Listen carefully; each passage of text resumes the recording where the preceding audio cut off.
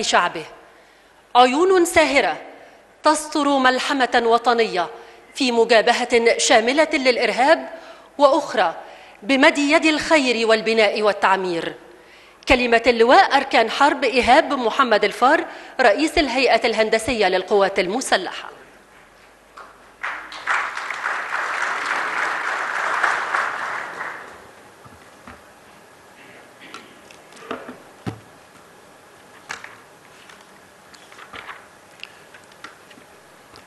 بسم الله الرحمن الرحيم. السيد الرئيس عبد الفتاح السيسي رئيس الجمهورية القائد الأعلى للقوات المسلحة. نتشرف بوجود سيادتكم اليوم على أرض سيناء تلك البقعة الغالية من أرض مصر. ذلك اليوم الذي يتواكب مع الذكرى السابعة والثلاثين لتحرير سيناء. وفي ظل توجيهات سيادتكم لتحقيق التنمية الشاملة في كافة أنحاء البلاد كلفت الهيئة الهندسية للقوات المسلحة بتنفيذ العديد من المشروعات التنموية والمجتمعات العمرانية المتكاملة على أرض سيناء. وفي هذا الإطار تم إنشاء مدينة الإسماعيلية الجديدة. تقع المدينة على الشاطئ الشرقي لقناة السويس الجديدة بمواجهة 11 كيلو متر وتتكون من ست أحياء سكنية بنسبة بنائية لا تزيد عن 20% مع استغلال باقي المساحات لمسارات الحركة ومناطق انتظار السيارات والمسطحات الخضراء.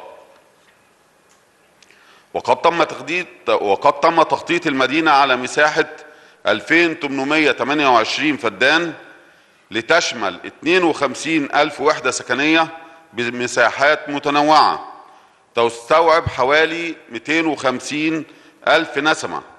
فضلا على إنشاء مناطق خدمية فرعية بكل حي سكني وتتوسط المدينة منطقة خدمات مركزية تخدم جميع الأحياء. تشتمل على مجمع طبي منشآت خدمية حكومية مسجد كنيسة بالإضافة إلى مجمع شرطي. ولتشجيع الرياضة والاهتمام بالشباب تم إنشاء ثلاثة نادي رياضي اجتماعي ترفيهي. ولتأمين إمداد المدينة بالمياه تم إنشاء محطة ترشيح للمياه غرب قناة السويس بطاقة 20 ألف متر مكعب على اليوم. واليوم نفتتح المرحلة الأولى والثانية لمدينة الإسماعيلية الجديدة بإجمالي 32 ألف وحدة سكنية. وجاري العمل في المرحلة الثالثة بإجمالي 20 ألف وحدة سكنية ليصل إجمالي الوحدات السكنية بالمدينة إلى 52 ألف وحدة طبقا لما هو مخطط. ولتحقيق التنمية الشاملة لسيناء وربطها بباقي أنحاء الجمهورية وتقليل زمن عبور قناة السويس تم التخطيط لإنشاء خمس أنفاق للعبور أسفل قناة السويس. بمنطقة جنوب بورسعيد شمال الإسماعيلية شمال السويس. واليوم نحتفل بافتتاح أنفاق تحيا مصر بشمال الإسماعيلية. تم تنفيذ المشروع بالتعاون بين الهيئة الهندسية للقوات المسلحة وشركات وطنية مصرية. ويشمل على اتنين نفق للسيارات كل نفق اتنين حارة مرورية اتجاه واحد لتحقيق معدل تدفق 2000 سيارة على الساعة. يبلغ طول النفق الواحد 5820 متر منهم 4830 متر تم حفرهم باستخدام الحفر النفقي و990 متر باستخدام الحفر المكشوف.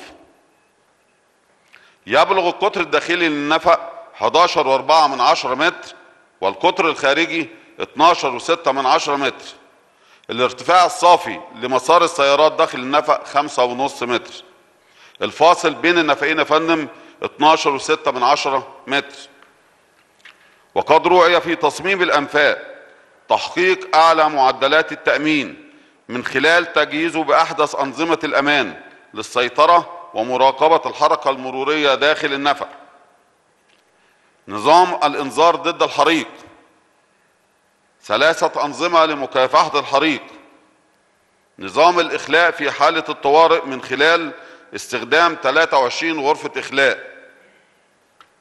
فضلا على إنشاء أربع ممرات عرضية للربط بين النفقين بمعدل ممر كل واحد كيلو متر نظام السيطرة والمرور باستخدام لوحات إرشادية إلكترونية.